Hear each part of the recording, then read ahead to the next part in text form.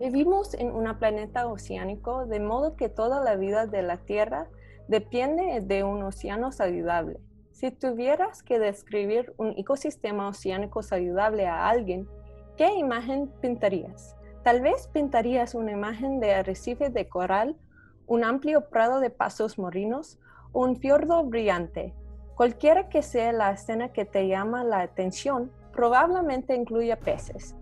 Para mantener un océano saludable, necesitamos poblaciones de peces saludables y viceversa. Pero los peces y la actividad pesquera en todo el mundo están bajo una fuerte presión por la sobrepesca, el cambio climático y una serie de otros estresantes factores antropogénicos.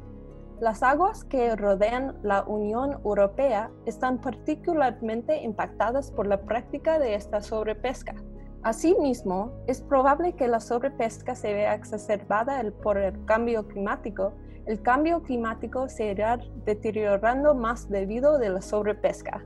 Entonces, para la salud de nuestro océano y toda la vida en la Tierra, pongamos fin a la sobrepesca.